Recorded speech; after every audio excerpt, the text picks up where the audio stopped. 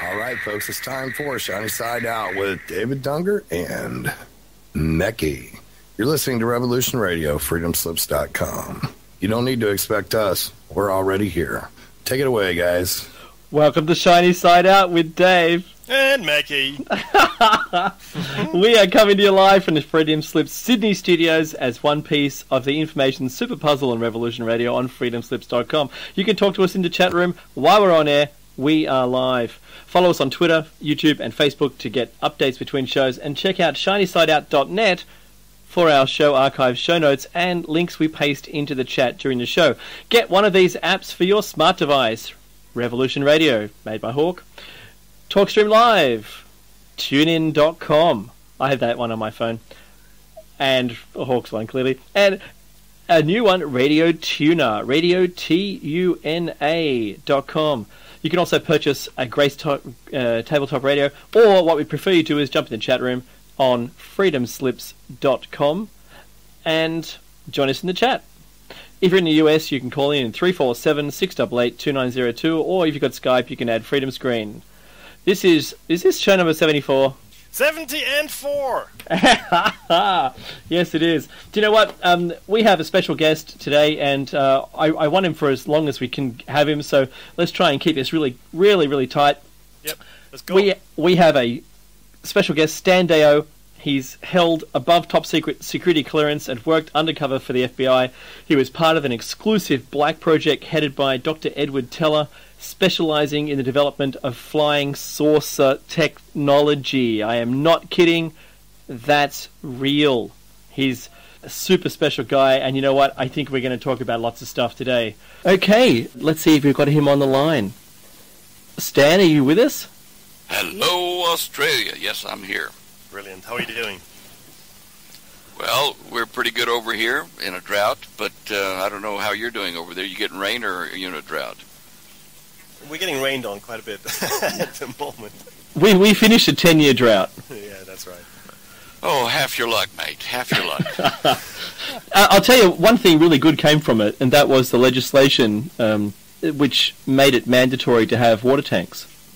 Yes. Yeah, well, before Holly and I left uh, our farm over in Victoria, there at Miners Rest, they were talking about putting rain gauges on our water tanks. Of course, we, we lived off of the water tanks we collected from the rain, and they were going to charge us for the rain that we caught from the sky. Oh no!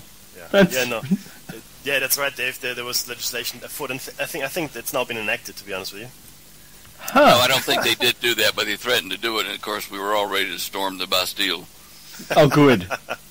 uh, which, which, which brings us to another th- thing. Now, you've, you've lived in Australia, Stan, and I understand that you've got a fairly close connection to Australia. Is that right?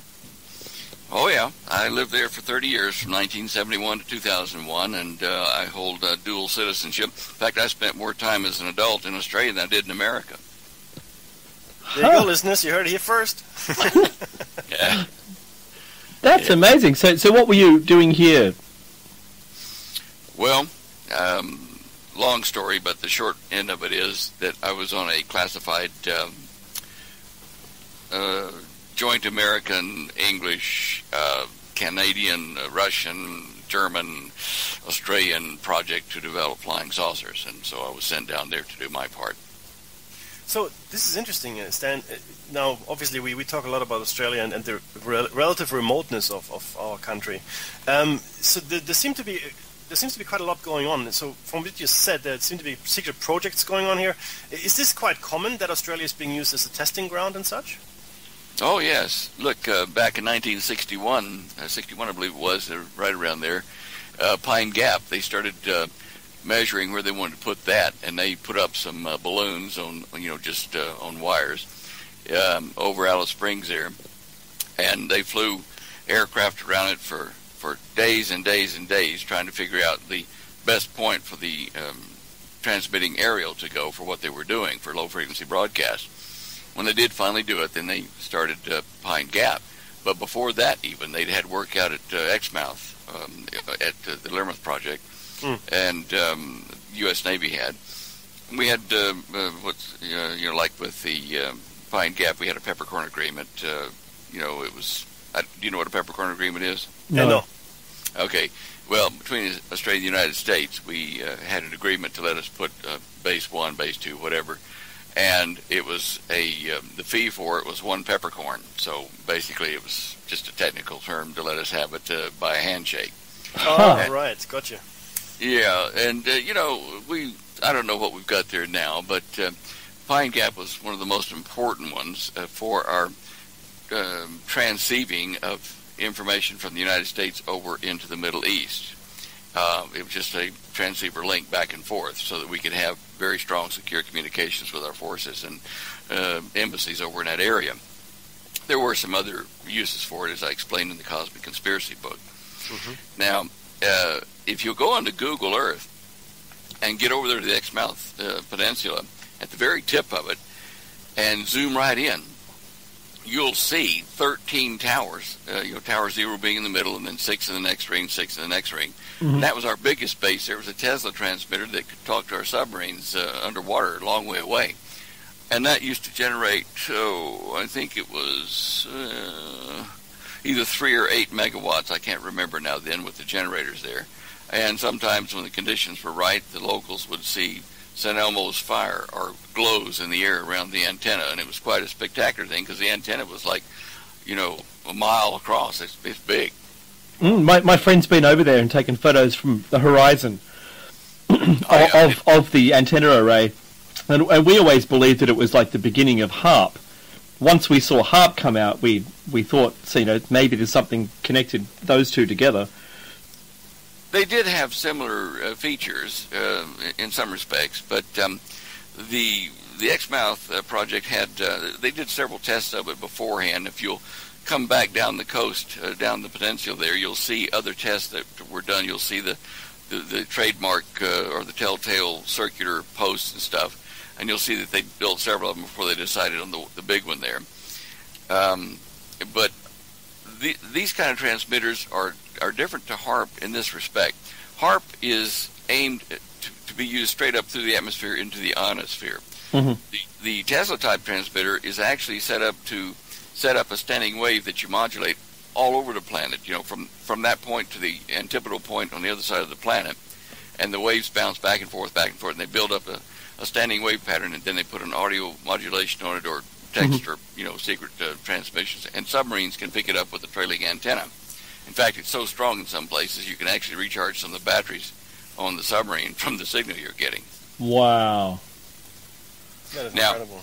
Now, that's different, as I say, than HAARP. Uh, that's not addressing the ionosphere. That's setting up a an atmospheric, uh, subatmospheric standing wave. Mm-hmm. Uh, in fact, I've still got a few of the capacitors from the uh, from the facility there that they managed to sneak out for us. And you know, each capacitor is like, oh, it weighs a few pounds, and it's it's a vacuum thing. You can tune it up to thirty thousand volts, and uh, it was uh, you know it's kind of nice to hold a bit of history in your hands. It always is, absolutely. Uh, i am actually looking at a picture of, of, this as well. Um, it's it's like an amazing kind of construction. The um, Exmouth side, I mean, um, it's it's really, and it, it's more advanced than the one that's in Alaska. People say at least, right? Um, is that true? It's a different kind of antenna and broadcast system. The one in Alaska, which is on holiday at the moment, they're waiting for some more funding. Um, the one in Alaska is one of about eight that are publicly known uh, on the planet. Other countries have them too. And uh, if you'll notice the array there, if you get close-up pictures of the mm-hmm. HAARP array, you'll see that they don't look anything like what you've no, got in the Exmouth right. Peninsula. So they're, they're different kettle of fish, different um, uh, uses, different intended uses.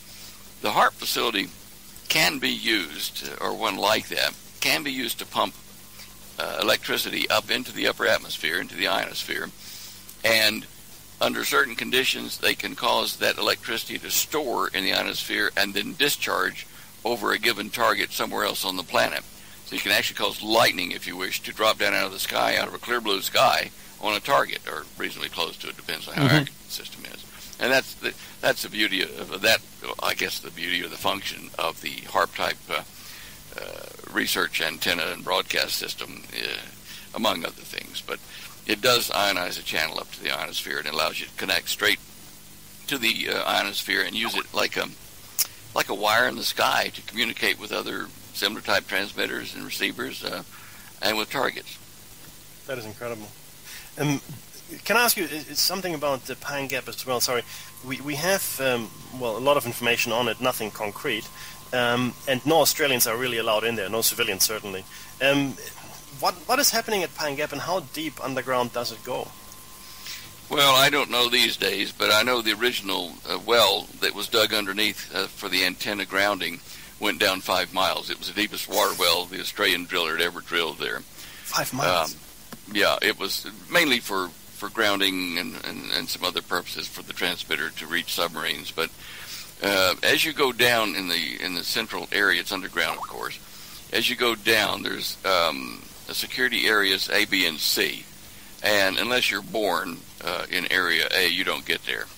Mm-hmm. Uh, and along the hallways in the the uh, each area A, B, and C, there are colored stripes running down the hallway, and if your badge color matches that, then you're allowed there. If it doesn't, and security catches you, you're dead.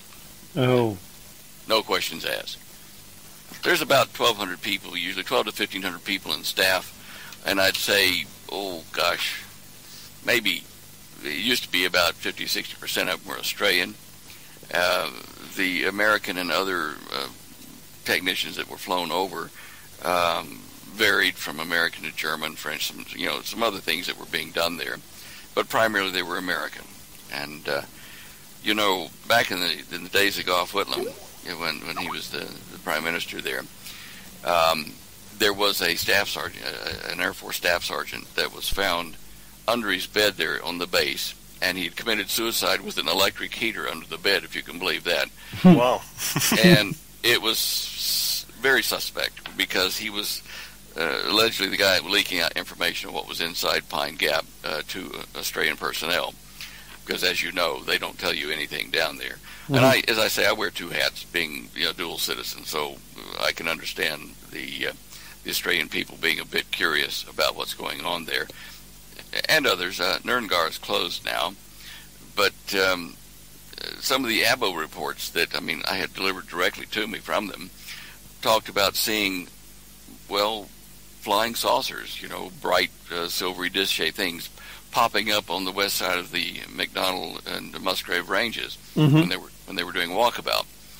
Now, some of the older tales, uh, I say older within the last hundred years, uh, that the um, Aboriginal uh, elders were telling me about, they were on walkabout with some of their young fellows at night, uh, again up toward the, the kangaroos, back up toward the Musgrave and, and uh, MacDonnell Range and they were camped for the night without a fire. And one of these craft came flying over and stopped so close to them over a, a set of big rocks that they could sit there and stare at it and see the guys get out, and they were human.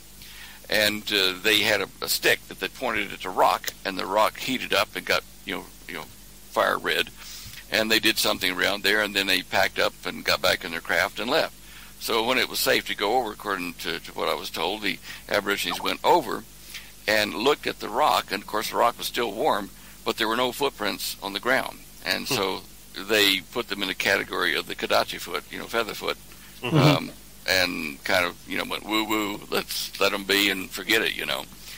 Uh, and I think this is you know it could I don't know whether it was our guys or not, but uh, in the past, as you can see from the cave drawings over in the northwest, these beings. Um, well, they weren't from around here. You know, they they they were definitely uh, uh, superhuman, and, and, their technology was way advanced, even what we've got now.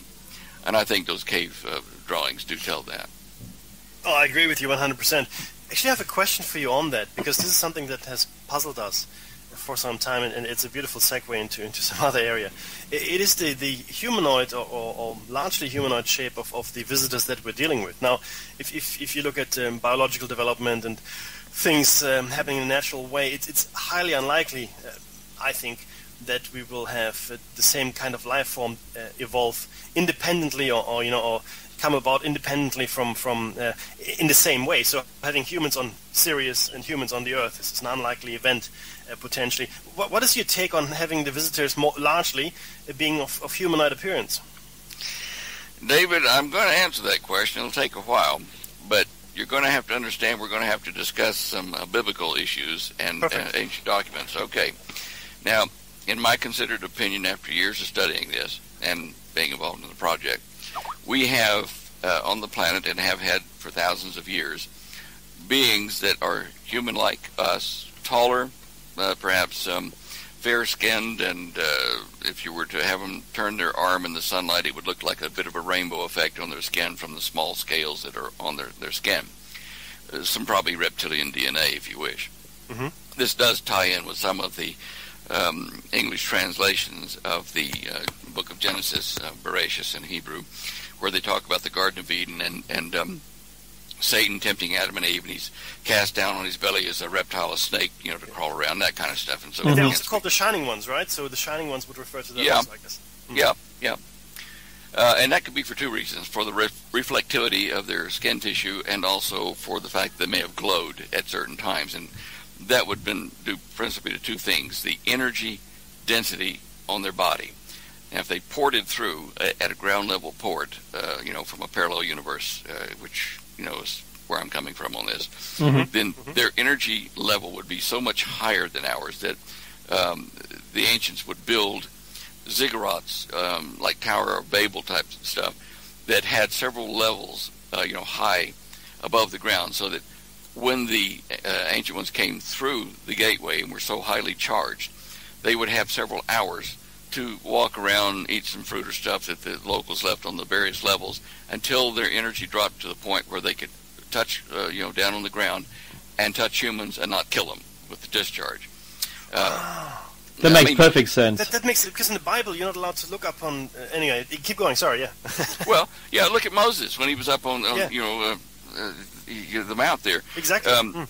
He uh, God tells him, look you know, take your shoes off and and slide your feet toward me. In the Hebrew, it says that so mm-hmm. that you so that you aren't killed in essence. Well, Moses says, "Look, I've been talking to this burning bush and this voice, and you know, can I see you?" And I'm paraphrasing, obviously, but mm-hmm. uh, God says to Moses, "Well, look, Moses, if if I appear before you and let you see me, eh, you know, face to face, the energy of my presence will destroy your body, and that's mm-hmm. not what I want to do. So I'm going to direct you to a cleft in this mountain, which will shield you. And then I am going to project my image up on this cloud so you can see the, the shadow of the projection of me up there without looking at me directly. And that will that help? And so, of course, Moses said, yeah. Now, Moses was up there 40 days and nights on the mountain mm-hmm. with God. You know, not only getting the, the Ten Commandments, but getting instruction and a lot of other things.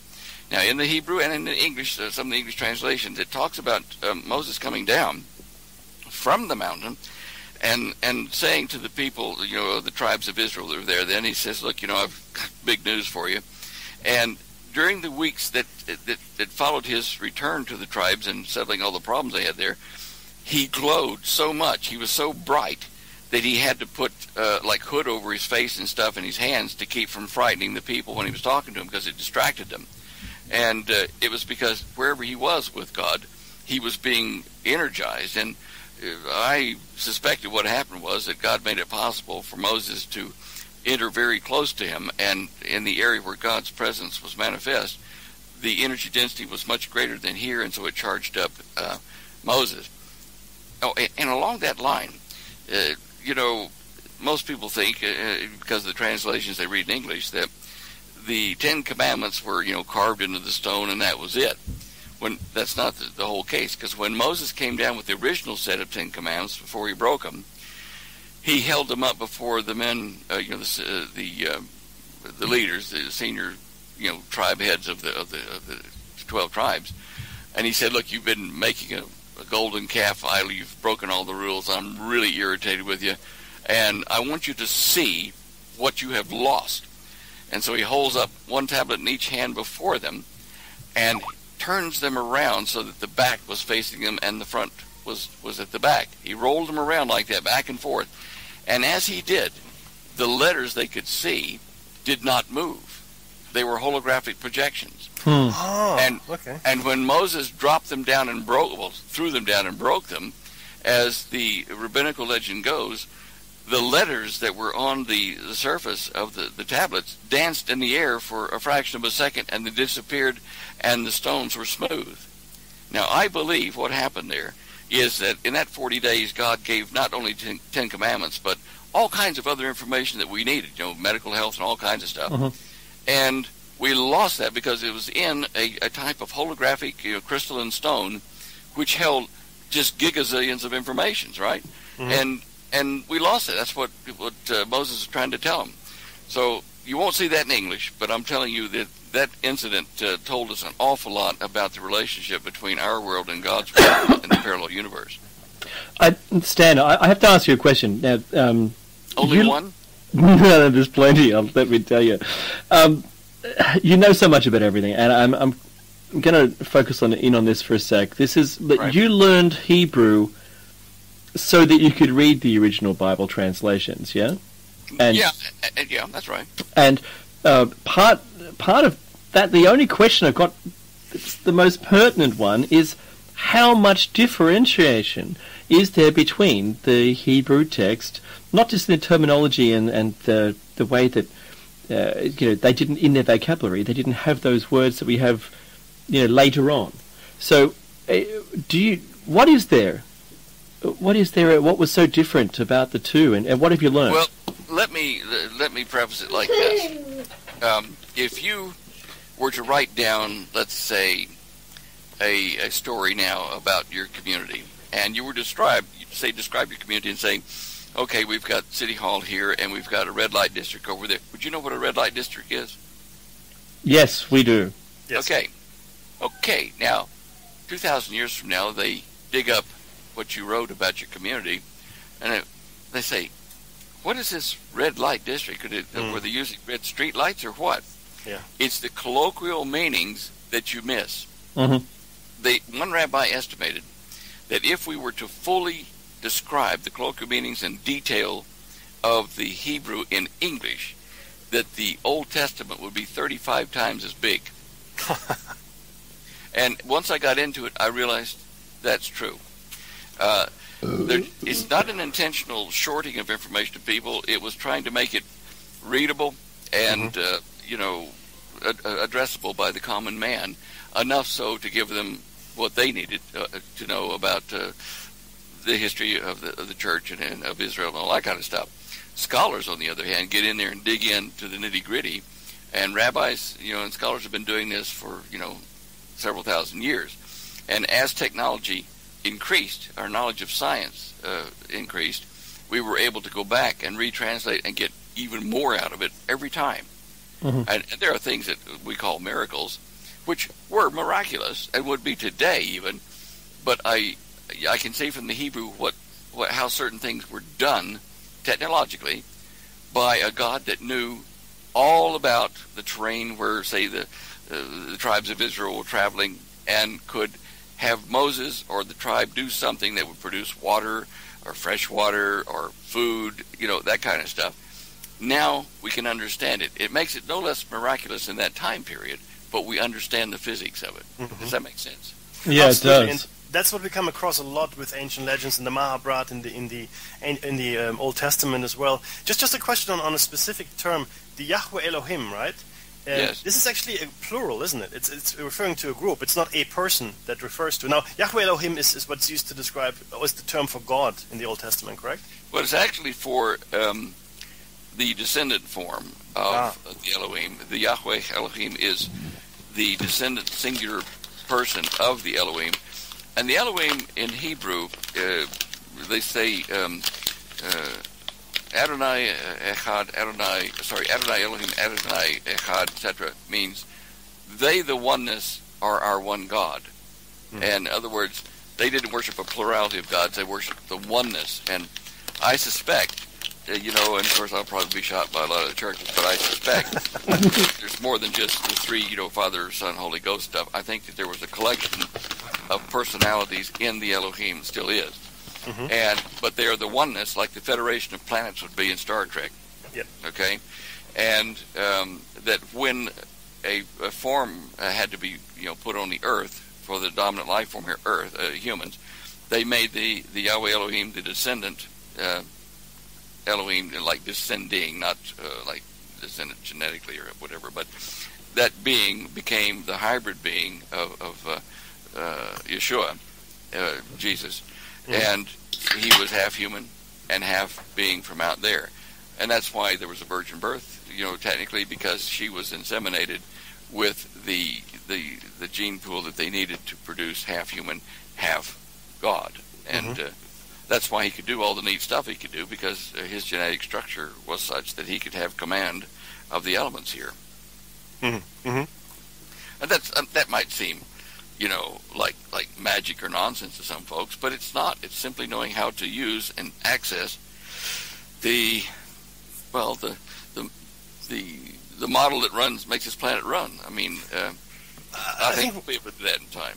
Yeah, look, I think we're in, in, in total agreement. Our listeners who've been with us for you know, for 70 odd shows, uh, are with you as well. Because I mean, uh, Arthur C. Clarke said any advanced technology, any sufficiently advanced technology, will seem like magic to the to the layman. I mean, today we could ask people how does a mobile phone work, how does a microwave work in the street, and nobody could answer that really. You know, we just take That's it as right. given.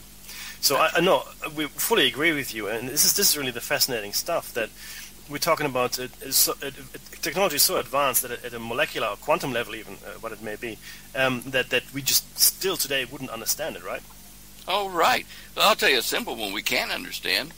You remember when the, the tribes of Israel being led across the the Red Sea, or it's actually the Reed Sea, but when they were crossing the Reed Sea, and the waters parted, and they got to the other side, mm-hmm. they'd been traveling maybe two or three days, and they were getting a bit thirsty, run out of water and they start to complain to Moses, "We're you know we're drying up here. You know we're dying of thirst. Can you get us some fresh water? Because we're right here next to salty water, and that ain't good." So he said, "Yes," and he said, "Gather me some of your strong young men here, and I want you. Uh, I'll send them out to get a particular kind of wood, um, like uh, long pieces of it. Okay, like tree trunks." Mm-hmm. So they gathered them and they sharpened them on the ends and whatever. Now he said, "Get together." and hurl those out into the middle of that bitter saltwater pond right there in front of us. And so they did. And surprise, surprise, coming up out of the middle, upwelling, comes fresh, drinkable water right up to the top, and it's good. And they could drink it and, and as much as they wanted, and they survived. How did that happen? Well, today we have uh, military maps, uh, 1 to 100,000, of that area of the Sinai Peninsula. And right there where that, the bitter water ponds are, we can find them today right up through the bitter water Ponds is an underground wadi that goes up into the mountains of the Sinai, where the snow periodically collects, melts, and flows underneath down into the saltwater ponds and forms an inversion layer. It's uh, the fresh water's on the bottom, but it's actually lighter than the salt water on top of it. But because it seeps up from underneath from the snow melt, it doesn't come to the surface until you break the surface tension with, say, logs and the salt water falls in and it just caves in right there and pushes the fresh water up in its place. I, have seen it a number of times when I was doing saltwater pools down in Perth. Well, see, yeah, that is amazing. see, that, that's another. It's another one of those. You know, uh, we know how to do it. It doesn't seem to be magic, but it would be magic to someone who doesn't know what it's all about.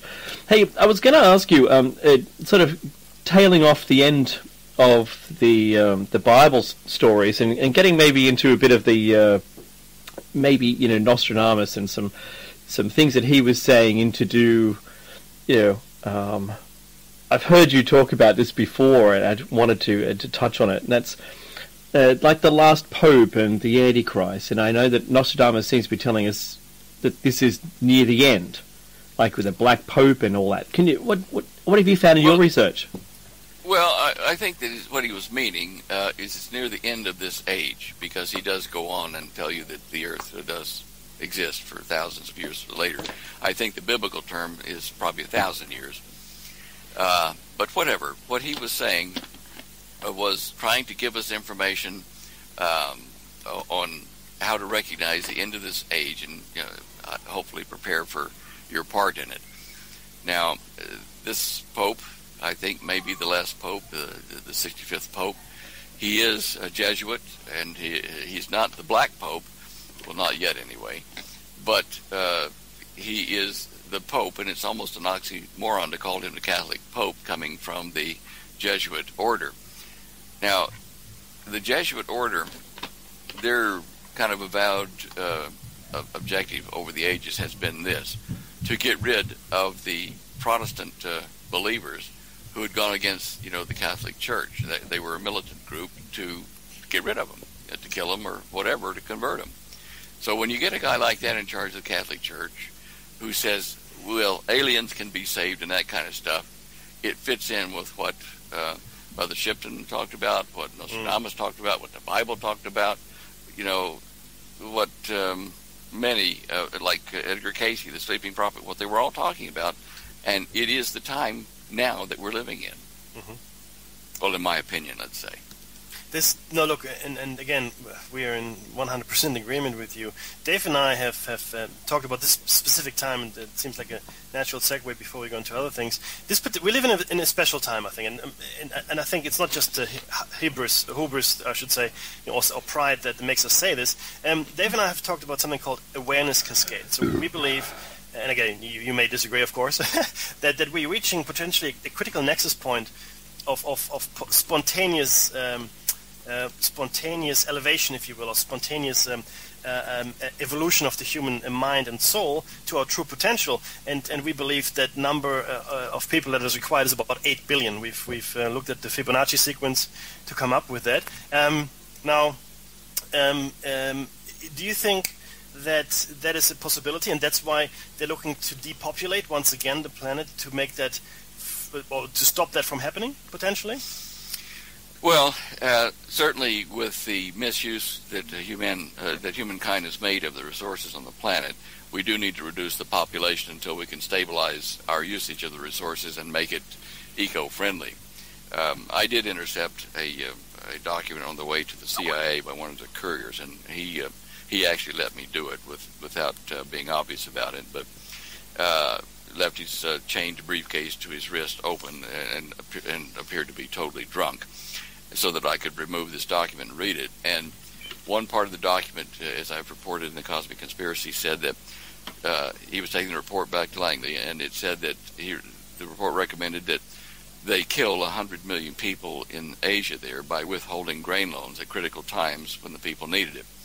And their reasoning was, and, and he had tears in his eyes as he did talk about it later, their reasoning was that um, because the Gandhis had failed in India and were killed for trying to put birth control in place, and because certain religions just would not allow them to practice birth control, um, that they would continue to breed until they would spread out into neighboring nations and destabilize the whole planet eventually in trying to just live and get resources to eat and drink. So I can see I can see what they're saying, and uh, rather than withhold grain loans that you promise, uh, I might be in favor of saying, well, look, go ahead and let the Indians, Indonesians, and whatever overpopulate, and they will die, and they will realize that they can't have as many kids because they'll be dying off, can't feed them, whatever, and maybe the thing will normalize. But I know this isn't going to happen. Uh, the Gandhis proved that. So what we're going to see is massive uh, loss of life mm. from not only um, environmental uh, catastrophes, but from warfare, uh, and religious and political. And no, I, I, I, too have seen the uh, people's research on and and the historical record showing interviews with these people saying that food is you know this is in the 70s even food is is our ability to restrict population so um, I, I, think that's an extraordinary place we come from. Uh, in, in this, um, in, with the warfare and um, that you you mentioned, it, um, uh, is this something that we're looking at um, as uh, like a World War Three or something, oh, or is it yeah, going to be separate? Definitely, definitely. We're going to have the beginning of, of, what would appear to be World War Three, and it'll a little be put on pretty quickly by the, the planners that want to have a one world government but they have to get the attention of all the peoples of the earth, not the leaders. The leaders do anything you tell them; they're politicians. Mm-hmm. But the people have to say, "Whoa, stop! We've got nuclear weapons all over the planet. You want war? No, no, no, no, no, no. We we've got to back off of this. No World War Three. You know, find another way." And that's when the alternate plan will, you know, alternative three will be offered to the population in a manner that they can easily accept, because the alternative is death, one way or another. yeah. And, offer, and offer you can't refuse. Exactly, but the one world government, you know, with one world currency, po- quite possibly as well. Um, it, don't you think we? I think we'd have to be if they want this population uh, reduction so heavily uh, implemented. They'll have to wait for some time through this no, the, they're, to, they're, as an intervention, wouldn't they? No, people are going to die. We are going to have the confrontation, and we're going to have viral diseases that are loosed, and, and they will probably be uh, genetically tuned to take out certain gene pool, you know, certain gene structures. Mm-hmm. And, uh, and this is, you know, not hard to, to visualize or to imagine or to postulate. We know enough publicly about gene modification that this could be done. Um, you know, the virus comes through town, and every fourth person is killed or something because they have, you know, such and such gene structure. Uh, and that will take them out, and it will look like, oh gosh, an unfortunate uh, Spanish flu, um, you know, uprising. Uh, Epidemic, you know, yeah. Mm-hmm. Yeah, sad. And that way, you know, people will accept the lie they're given because they don't want to believe the alternative. Did you see something very interesting there? Um, Mecci speaking here, sorry. Um, the people don't want to believe it have you found that as well? That people just, I mean, you can tell, you can, you can bash their head against the truth, and I guess that's why uh, in the Bible it states, you know, by, by the man himself, we live in a, or you live amongst people that have eyes but won't see and have ears but won't hear. People just choose not to hear it or want to believe it, right? It's just easier. You know that is true, and I paraphrase what you're talking about out of the Bible, and I say it this way: There are none so blind as those who will not see. It's the Mhm. will See, Yep. it's not cannot, but will not see. Yeah. Yeah. And there are a lot of those out there, as you pointed out, uh, Mecci. But um, you know, uh, you studied the Illuminati and New World Order and that kind of stuff, right? Yes. Yeah. When I first started talking about that back in '77, even that was the year before I even wrote my book.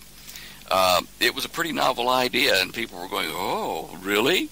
uh, in in Australia, and uh, I found that once I started explaining it, that a huge, huge percentage of the Australian public started saying, "Yes, I understand." Mhm. Now, more so than in the states, they banned my book here for some time, and it, it, I'm just now getting the American population up to where you guys were in uh, 1980, 82, in that region. Mm-hmm. Uh, and I, I don't know why that happened that way, but it did. Anyway, the Illuminati, everybody thinks, okay, they're the bad dudes, and I agree. They are bankers, they are industrialists, they are, you know, one world uh, planners that think that they know better than we do, and that we're going to be the serfs, and they're going to be, you know, the landholders, and the, Mm. you know, the kings and squires and whatever.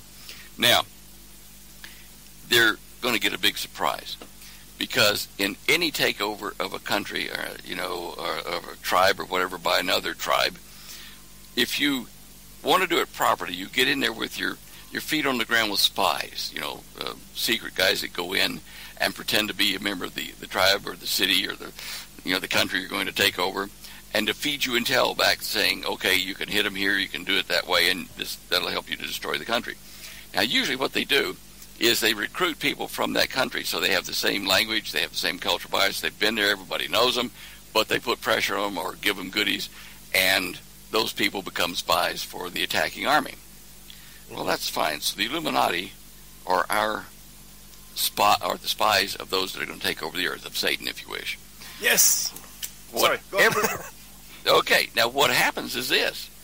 Historically, the invading army, first thing it does, first thing, once it comes into a country that it's done that to, is it grabs up all of its spies, the traitors, Mhm. and kills them. Yeah. Why? because you can't trust them. They might turn on you. So the Illuminati and the bankers and stuff, they're in deep, deep doo right now. I'll tell you, they don't realize they're going to go. Exactly right. See, we, we looked at it the same way as you did, right? They're like the, if this were a prison, they would be the trustees, right? They would be the guys that are in the know, they get all the perks, if you will. But once the regime change comes along, the first thing you do is exactly that. You, you get rid of anybody who, who, who can't be trusted and who could potentially uh, stage a coup against you as well. Mm-hmm. Absolutely, we agree. And you know, I'm, I'm glad to hear you say that of your own free will there, because you know uh, it means we're both getting fed information by the same spirit, you know, the same knowledge source, and Yeah. and that's that's a good sign. Mm, agree. Yeah, I'm actually astonished that uh, I just keep nodding over here. You can't see it, obviously. We're both doing it. Let me tell you that. but but as you keep talking about different things, and, and we've covered already in, in just a very short time a, a vast range of topics with in-depth knowledge that is just amazing on your side. And I just keep nodding to myself, oh yeah, yeah. And, and Dave and I, like I said, we've done 70 odd shows, and we've we've touched on these things, and the knowledge that you have goes much deeper, of course, than ours. And but we are in agreement, I think, on, on most things. It's astonishing, and you're right. It, be, coming from very different places ourselves, we usually also ask our guests, uh, for example, yourself, Stan, how you got into this. Now, normally we do it at the beginning, but we got right into it. So, if I could ask you uh, how your journey started here uh, and, and, got you to, to today. Well, I'll I'll shorten the tale a bit because that allows us to talk about a few other things as well. But when I was back in the states in 1971, I was I was born in Texas and raised there, and uh, I had a job in the computer industry. I was trained by IBM in Dallas uh, for using large computers and to help companies solve their problems that, that had the IBM computers. Now, uh, when I was working on this in Dallas, I was approached by uh, Dr. James R. Maxfield, a radiation research uh, medical doctor, actually, but he was in radiation research. And he was part of a, of a team uh, headed up by Dr. Edward Teller, the inventor or the father of the hydrogen bomb. Mm-hmm. Now, uh, Dr. Maxfield sent for me, and I went over to meet him there in Dallas in his office. And uh, in the meeting, he explained that he and Dr. Teller and uh, the equivalent of Dr. Teller in Russia, Dr. Andrei Sakharov, and their equivalent in other countries, had been for some time since the, I guess it was oh, probably the early 50s. They had been for some time in a joint R&D project with aliens um, across the planet to develop technologies and in return to give the uh, quote unquote aliens access to our human gene pool for research as long as it didn't hurt anybody. Well, of course, that didn't go well from the start, but anyway, they wanted me to join their project. They already had anti-gravity in 71. They already had it before that. And I was going to file a patent on a plasma dynamic craft, which is not truly anti-gravity. It's just a, a plasma, charged plasma air flow over a saucer or disc-shaped object. And they got wind of it early, and before I even filed the patent, uh, I suspect it happened when they broke into my home. Uh, somebody did uh, right before all this happened, and looked into my lab and found out what I was doing. Anyway, they said, "Look, uh, you know, hey, how'd you like to join us? You know, we've got bases here and there, and under the South Pole at uh, New Schwabenland, and you know, mm-hmm, mm-hmm. come on down to Australia and work with us. And I said, well, okay, are you all in Australia? Oh, no, no, no. We've got bases in Norway. We've got them in Canada. And, uh, you know, mainland Australia, you know, underground and under the sea in some places and in West Germany and parts of it over in East Germany, some of the old tunnels that, that the Nazis left. And even in Russia, we've got some stuff going there. And uh, they went on to name all these things. In New Zealand, and I thought, holy cow, how do you get along with these guys? You know, the, the enemy. Uh, he says, well, it, the enemy's at a political level. He said, uh, we are actually in the scientific community uh, of one accord here in developing uh, these new technologies for energy, uh, you know, uh, non-polluting, limitless energy and transport, anti-gravity, new medicine. And in return, we have to give these guys, you know, a little bit of testing on our own people, which in the end will be for our own good, you see. And so they they paid me and set me up and took my whole family down to Australia and I immigrated down there, and they set me up as an Australian citizen, etc., and uh, and an American, you know, dual citizenship. And my uh, control agent down there was Captain Sir John Williams in Melbourne of the Adelaide Steamship, uh, you know, company. Mm-hmm. Um, he um, he was quite a fellow. Actually, he was a tall, statesman-like guy. Looked like he'd be a good uh, uh, full rigger, you know, sailing captain. He was had good uh, bearing. But anyway, when I arrived down and reported in to him, I I was shown he just pulled it out of a, a little pocket in the end of the Mercedes we were in, and we were being driven by a chauffeur, and because uh, I was telling him, you know, that you know what my contact details were once we made it where I was, where I'd gotten a home to stay in and stuff, and he says, "Oh boy," he says, "you don't understand," and he pulls out about an inch thick uh, portfolio and says, "This is you, and we know all about you, so don't hmm. worry." And uh, so time passed, and uh, I wrote papers for him and for and for um, oh, uh, let's see, it was uh, Sir John and Sir Henry Somerset, who was one of the nine chancellors of the CSIRO at the time, and uh, I had to rewrite the paper a couple times because he didn't like my discussion on the alien presence thing and what that might mean. and certainly didn't like me detailing some of the technology, uh, you know.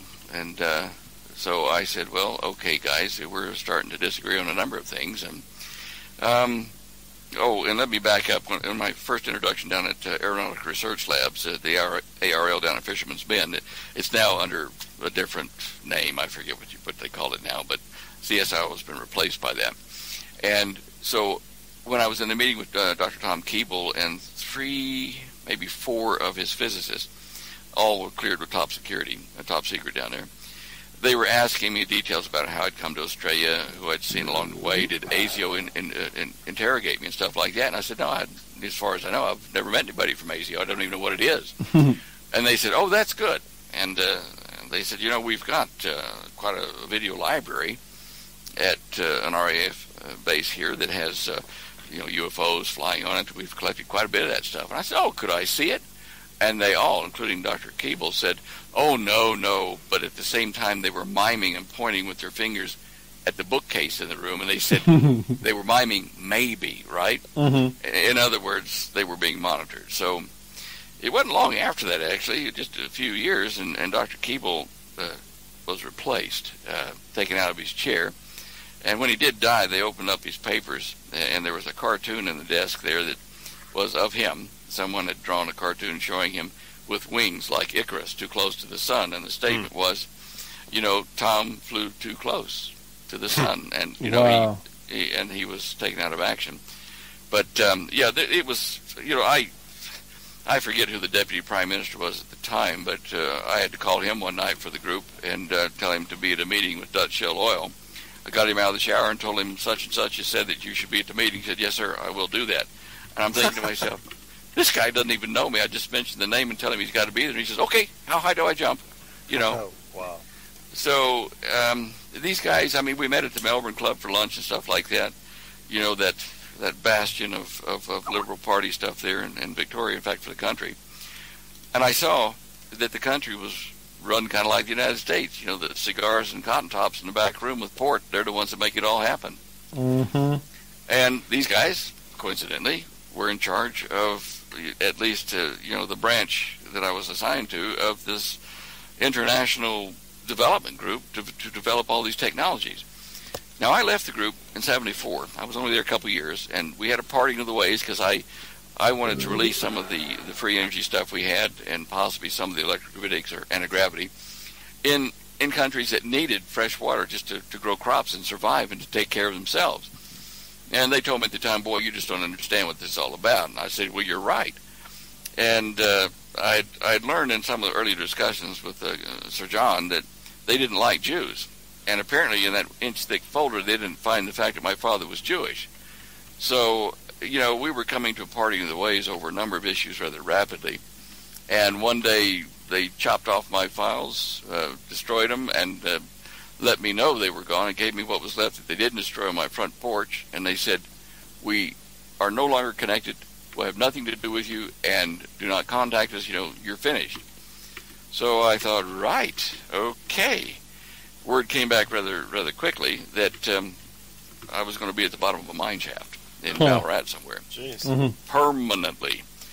And that's when I, you know, I by that time I'd already started to grow a beard and, uh, you know, find uh, work in a Mexican restaurant there with Taco Bill and uh, made good friends with him. And uh, anyway, when I had to run, I had I had met a, a hippie couple, um, uh, you know, young couple, and they had a van that was all painted up in the typical hippie stuff of the day, and I had a, a, a an old um, Holden that I was driving around then. I'd sold everything else, and I knew things were getting tense and I was going to go down soon, so I planned an escape uh, that started at midnight one night all of a sudden, and the hippie couple went ahead of me over to Adelaide, and I drove all night to meet them without telling anybody anything and just leaving some keys and instruction with a friend of mine there to execute after I left town that night.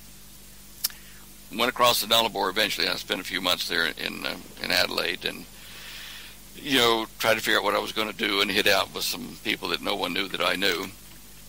And eventually crossed the Nullarbor, went to Perth, had the backing and support of the local ASIO branch and, uh, you know, the local police and the military at the SAS barracks there. And both of them assigned a, a bodyguard to me at times when I was out in the public. you know, 45 automatic toting bodyguards and Mhm. karate, karate chopping guys. In fact, the one that they used to guard the Prime Minister of Japan when he was down there was my, my bodyguard there in Perth for many years. Wow. Um, oh, look, you guys are too young to have lived through all this, but in the heyday of all this, back in the um, early '80s and the late '70s, um, Bjelke-Petersen invited me over to speak in, in his uh, state in Queensland. He had a, a private meeting with me and his pilot uh, uh, with Beryl, and um, he, he wanted to know about the Illuminati, what I knew, and we exchanged uh, things. And he assigned a bodyguard team to me. They they wore kind of dark tan leather coats and you know loosely uh, dressed up a bit. But I did a lecture there in the Coorparoo High School over a weekend, you know, several uh, hours a day, and there was a, a heckler on the second day up in the front row, maybe two rows back, I guess, and he was jumping up in the middle of my lecture, which was biblically based, and it was before I'd even written the Cosmic Conspiracy, and he was saying. You know, you know, blah blah blah. I think you're full of this and that, and I didn't know what to say to him. I'd never faced a heckler before, and I noticed two, of the the uh, Petersen bodyguard detail came slowly walking down, one to each end of the row the guy was in, and they excused themselves and and kind of moved in sideways, sidestepping to get to him.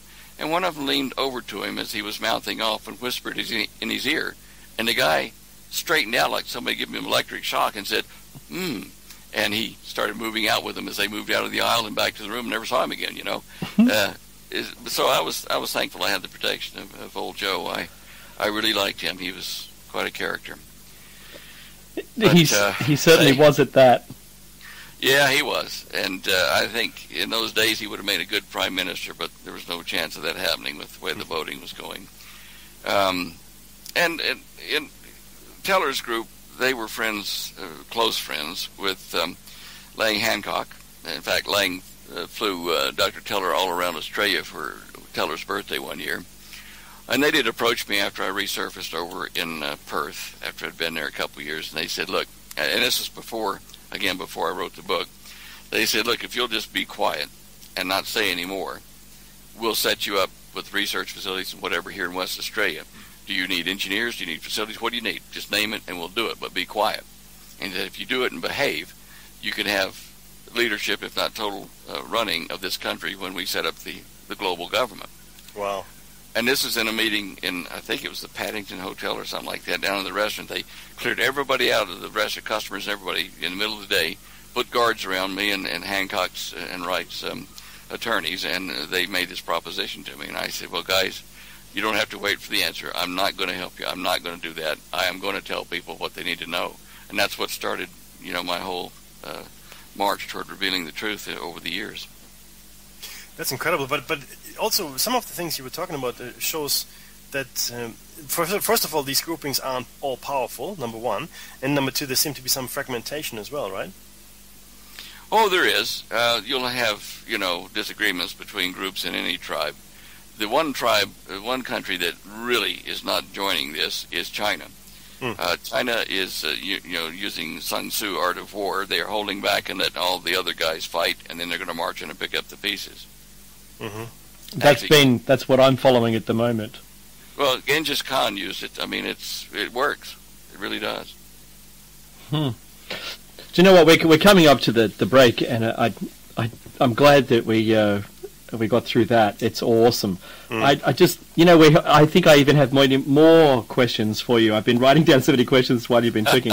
My goodness. Well, we can catch up on those another show if we run out of time. Yeah, if we do. But you know what? We're going to come back after the break, and um, I'm I'm gonna I'm gonna ask you some more about some of that technology. You know, it's been amazing to hear from from a local perspective. Mecci, you can agree with me on this one. Mm. Some of these names that you're bringing up, uh, and you know, I had always thought that the CSIRO were involved, didn't know how um, at all, didn't know what they knew, and that's some some amazing information there. And, and Joh, you know what?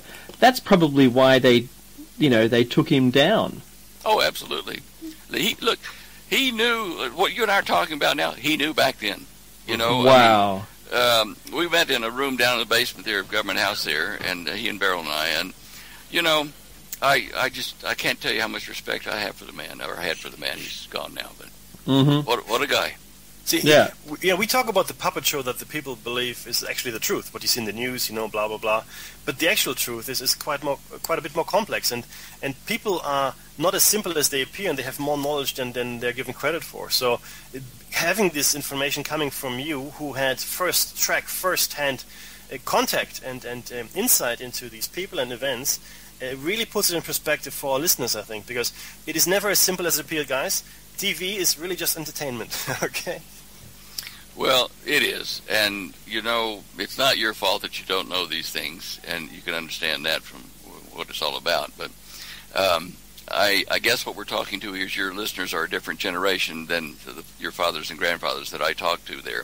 Mhm. Uh, but I got to tell you, when when this was hot and active, we had uh, John Schuessler from uh, McDonnell Douglas, uh, the, the director of space flight operations for the shuttle, come down. We did lecture and tour across Australia. We had airline pilots telling us secrets about how they were told not to report, uh, you know, this and that in the sightings. And I mean, the country was alight with this kind of discussion. It, uh, Australia was just on fire with it, and there were churches supporting it. And and I, in one year alone, I lectured to a hundred different churches in one year. Wow. They wanted to know, and and and if they hadn't done that and hadn't made it such a, you know, um, uh, an exciting time, I might not have, you know, written the book and done all the things I did. But with their support, I was able to do it. Uh, with with a guy named George Spall over in uh, in Brisbane, he Christian fellow had a Christian bookshop, and he said, "Write the book, and we'll pay for the first printing." And we did, and it sold out in a week. So, three years in a row, I was in the I was in the top ten uh, books published in Australia. Wow. Yeah. And you know Oh. what? I published it because the, the, the people we hired to do it, uh, ghostwrite it and everything else in Melbourne, threw up their hands after three editors said it's too hard. So I wrote it myself and I printed it myself. Do you know how Oh. many copies? We've sold a quarter of a million copies of that at least now in English. I don't know how many in French and, and German. Well, you know, we're going to have the links to all of this stuff in our show notes, and um, we'll be posting it. Um, it, should be in the chat room any second. Thank you. Um, let's hold on, everyone. Um, here we're coming up to the we're at the break now, and we'll see you sh- after a short intermission. Don't go away. Hang five. We're back with Stan, our special guest today, Stan Deyo. Um, thanks everyone for holding on for the break. Um, Stan, I, I've got to ask, and it's burning me since you were talking about this, and that is uh, anti gravity. Now, I, I, I once saw on the Discovery Channel an interview with a general who who was showing they were buying some helicopter thing and I was signing off on the contract and it was awesome this brand new helicopter. And he said this is the last helicopter we'll buy he said. And then he continued to say the next thing is anti-gravity. And I thought it was interesting they left it in they could have cut it there and never told us about it but what now you you worked with this yeah Oh yeah, you look. Um, you know, I was on the periphery of it. I was developing my systems and, and things that went with the alternate energy. But I did. Uh, they did show me photos of the assembly area and, uh, some brief, very brief uh, discussion because you're very compartmentalized and you're not allowed to really talk about you know between departments. So I had to, you know, probe security guards and various other people to get more information. And and you know, I realized that years before I'd even joined the project that the the basis for the anti-gravity device had been developed by um, a navigator on a strategic air command bomber that a friend of mine used to be the pilot of, and he had told me about it, you know, probably 1970, and uh, I didn't realize at the time that that's what they'd done for real. You know, the, the, the navigator was transferred out two weeks later and disappeared, but that tells you something right there. And yes, I can I can discuss that, um, not to the point of uh, actually being able to build a circuit. Uh, I don't think that's appropriate uh, with the terrorist uh, loose out there. of but course uh, I can give you enough of a discussion that you can understand, you know, how it works. Mhm. Uh, in fact, I'm preparing a paper I've been working on two years uh, because it's going to be a PDF file with um, animations in it that I'm, I'm rendering here to show people uh, how it works visually, how gravity works, and why it has different shapes, if you wish, at galactic level versus uh, atomic level. Anyway, what's your question now? Well, my question is, when Mecci and I we used to work together, and you know all those years ago, Mecci, my goodness, right. it's like what? How? What now? Fifteen? Well, close enough. yeah, nearly 20 years, right? Um, one of those things is I, I almost had a complete understanding of, of how uh, anti gravity would work by shielding yourself from gravity everywhere and then opening up, say, uh, a portal in the direction you wanted to go and grabbing onto that space and time there and pulling yourself towards it. Then, while it was tense, letting go where you are and that would make you dart, seemingly dart over there when really you are already at the destination. It's not quite that way, but Mhm. it's close. Uh, you you you, the explanation kind of works, uh, unless you want to get down to the details of it. But um, with a gravitic field, you do uh, you make what's uh, best described as a flying flux capacitor. And, I, and I'm not being, you know, flippant by saying that, uh, you know, back to the future flux capacitor type stuff. But uh, a normal capacitor in physics and electronics is described as something that holds some static charges. They aren't moving. It's just a Q number of charges. Now, if you then develop the equation to say Q over T, or moving charges, then you have a dynamic circuit which is not static, and the electrons in that are moving. Well, that's a flux capacitor. Now, Michael Faraday could never figure out how to do that, and there's a trick to it. You have to be able to stack up moving electrons in a circuit, passing them from one layer to the next, back, back, back and forth like that, and build up a huge field over a period of a few minutes, or you know longer if you've got a smaller motor. But you can take a Volkswagen engine, connect it to a generator, and make pulse DC into the the, the two coils that are prime uh, movers in it, and you can stack up a field over you know 20, 30 minutes that will lift up a 30 ton craft Wow. but it's it's dynamic. It is staying in and through and around the craft and the crew. Then all you have to do, as you pointed out, is open up a, a, a lower pressure area, if you wish, Mhm. on some part of the surface of the field, and you'll you'll you'll be pushed into that at a rapid speed. And you can either go vertically, you can go horizontally, but you will have to um, slow down to make turns, or increase the energy density in the field so that when you turn the corner quickly, it really stretches time out for the occupant so they don't have the G forces all at once. They amortize them over, you know, 100 times uh, the amount of time it takes.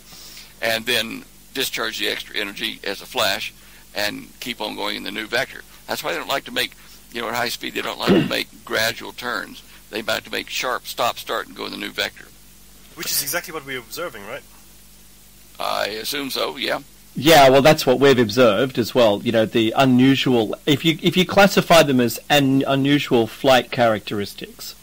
And can I Yes. also ask, uh, the technology you just described uh, sounds to me like a, a potentially a stacking of fields. I, is that at all related to the Nazi Bell technology? I'm not sure. I think the Bell technology, they were experimenting more with uh, uh, mercury in, in uh, liquid dynamic motion. Yep. Um, it could probably generate similar effects depending upon how they spun the um, the uh, the fluid, the, the, the mercury, in two directions at once. Um, part of the secret, and, and obviously I'm not going to detail all of it, but part of the Hmm. secret is you have, say, around a, a donut-shaped thing. Have you seen my uh, my picture of that on the internet somewhere? Uh, Yes. You know, uh, I have too. Okay. There's a flat coil, one layer coil wrapped around that donut, which is um, a, a mu-metal or a very um, a very inductive core that's hollow, square section coil. Now, on the inside or the outside of that coil, you know, in the core of it or the outside, you can wrap another coil, same kind of material, you know, flat uh, bar, and you wind that so that it has the same uh, impedance to the current running through it that the Mhm. coil wrapped around the donut does. Now, in one of the illustrations I have on the internet, I show the navigator's test that he did uh, back in the 50s to make anti-gravity. He, he stumbled on it, and what he'd done was he'd taken a simple uh, washer, iron washer, soft iron washer, cut it so that it had the, the you know the breathing space for the magnetic field. He cut a hole in it. Mhm. He wrapped a coil around that, just like you see in, of the flat coil I've, I've told you about online. And then he took an iron rod that would fit down in the hole of that uh, iron washer, and he wrapped a standard coil around that and put the iron rod through the split washer. Mhm. Then those two coils were connected in a manner that he could pulse direct current into them, into one of them, say the, the washer coil, release the, the, the pulse going in, and direct the back EMF into the the vertical or, or bar, or sorry, or you know like the, the bar coil. To alternate. To, well, and at the same time you're putting it into the bar coil, you pulse it with the in phase with another DC pulse, which adds now you've got two Q in motion, and then you take that two Q and back EMF back to the original donut coil and add another Q, and you've got three Q in motion, going back and forth. And the reason that these big craft, at least the 30 foot diameters, use flat bar is because the flat bar uh, offers much less resistance to the current flow and heats up a lot slower than uh, a round wire would. Hmm. It's just you know standard electronics, but um, when you stack the field up and down like that, back and forth, back and forth, like the Navigator did, uh, depending upon how you structure the field, uh, when you try to move the object, if you don't have the moving, the impressed fields on it to cause that directional change you're talking about, you can cause the whole field to collapse on itself and all the energy to convert to one massive kind of ball lightning meltdown of crew and everything. It leaves a tidy hole where they used to be. Oh wow. Uh, in the assembly areas, they they had flat field coils for navigation laid out, uh, you know, besides outside the donut, and they were marked with big pieces of paper typed in there with the letters A and B, showing you which way those coils had to be wrapped around uh, the the main uh, gravitic coils. Mhm. Because if you reverse the polarity on them, the first time the crew got up there and tried to push the go button, they disappeared. I mean, Oh. so it's a very important issue. Um, does that does that lend uh, itself maybe to the Philadelphia experiment? Oh yeah, yeah. Um, in fact, I've got some of the circuits from the Navy for the um, um, the type of, of craft the Eldridge was. It was a um, a mine detector, magnetic mine detector, and um, excuse me, they have um, three coils, three axis coils, which there's one set of coils that's wound so that it's um, it's like the donut sitting on the ocean. Mhm. They have another set that's around the uh, aft, uh, you know, to the bow to aft uh, axis of the of the uh, craft, Mhm. and then another one at midsection is going around. And by balancing the direct current, which wasn't pulsed, it was the direct current on those with three different um, uh, generators in the bottom of the of the craft.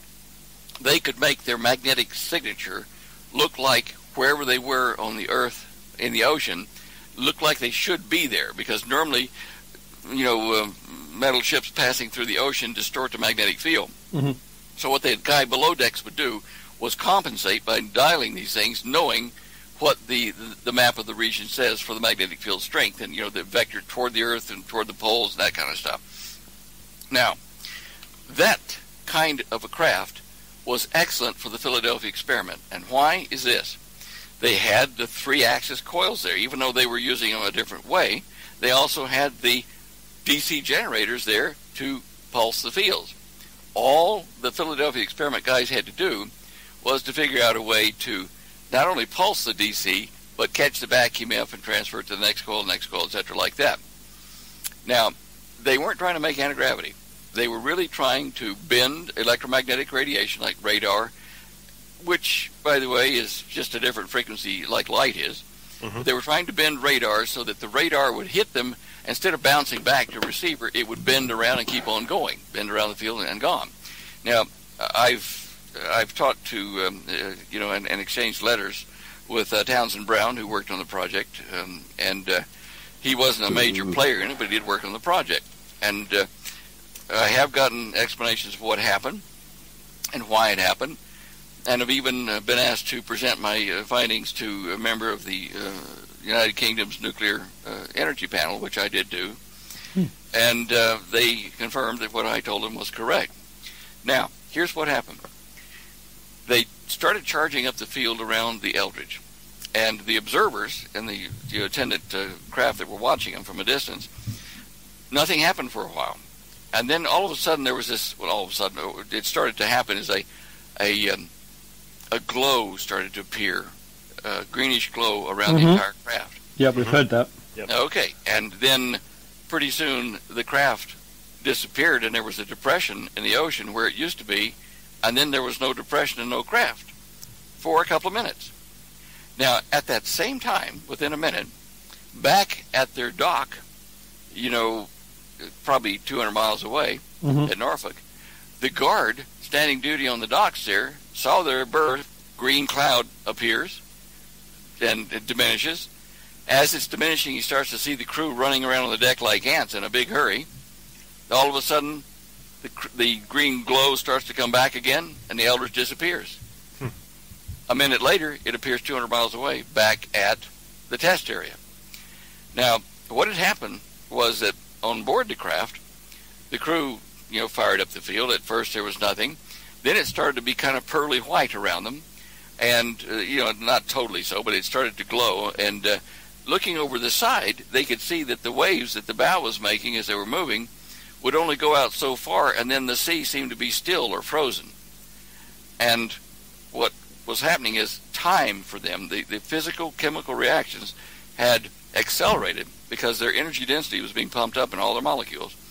And so they could move through the water in this bubble, of this field, all the way back to Norfolk and back in the space of a, you know two minutes, of a minute each way.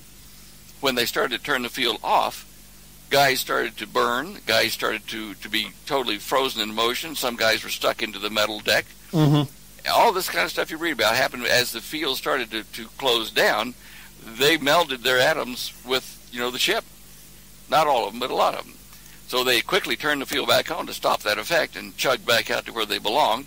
And in reverse, they they reappeared to uh, the attendant uh, squadron out there, and, and they or you know the attendant vessels, and they came in and uh, cleaned up the mess.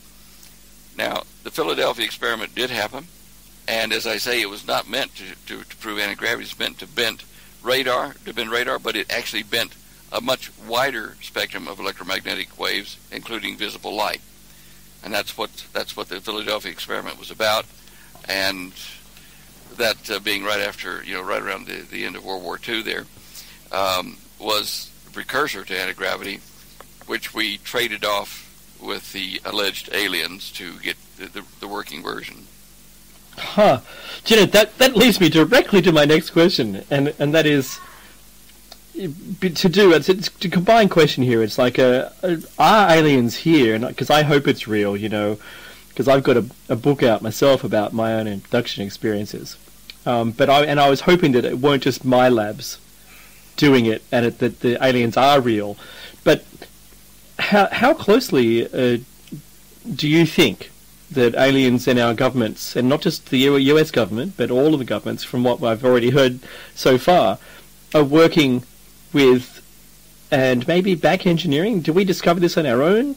Can you tell me Some more of- about that? Some of the stuff we were we were getting to uh, ourselves, Mhm. um, but we're not quite to the sophistication that obviously beings that have had it for thousands of years could uh, could give us. Now, the in the late '70s, our worldwide organization that the Tellers Group were you know we were a member of came under attack by the alleged aliens on our bases that we had built for them, underground, under ocean, that kind of stuff. Mhm. And they they started fighting with us and kicking us out. Now, you know, uh, I was warned about this by Sir John even before I left. And it, it, as I say, in the late 70s, they started systematically kicking us out of our bases. Their techno- technological knowledge was so far ahead of us that the reason they were even inviting us to be joint venturing and, and build the infrastructure we did underground was this.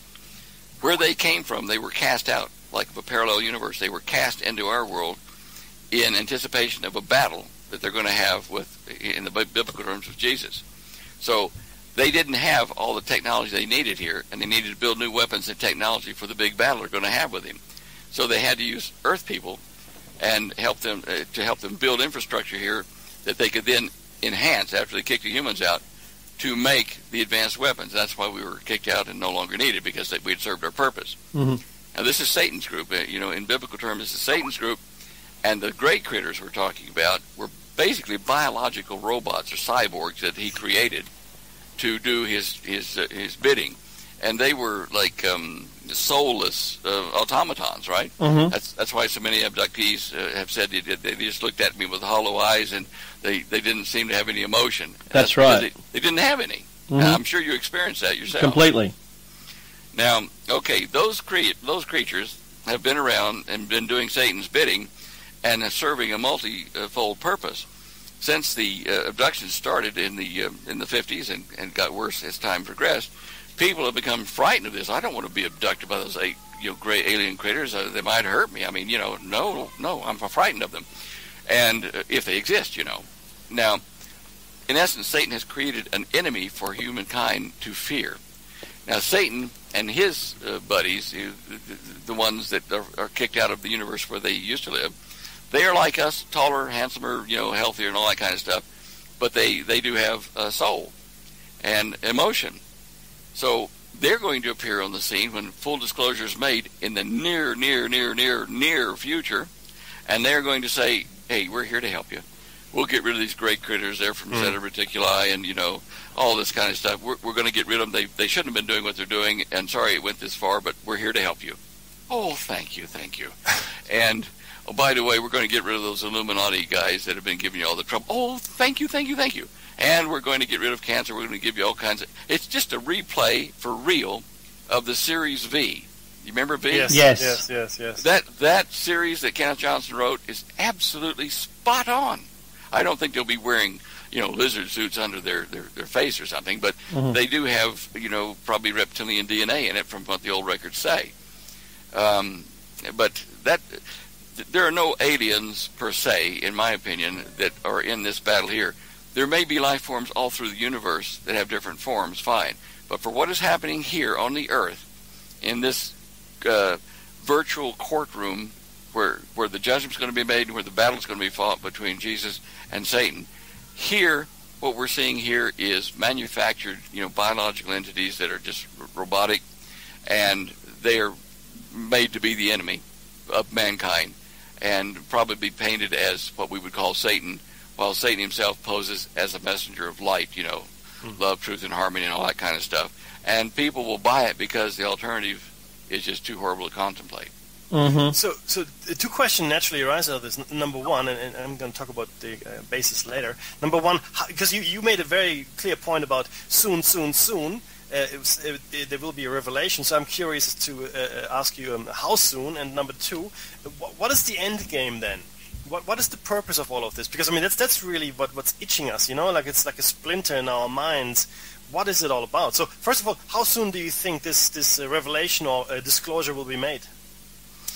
I'd say we're within uh, weeks to months, probably Wow. between now between now and April of next year.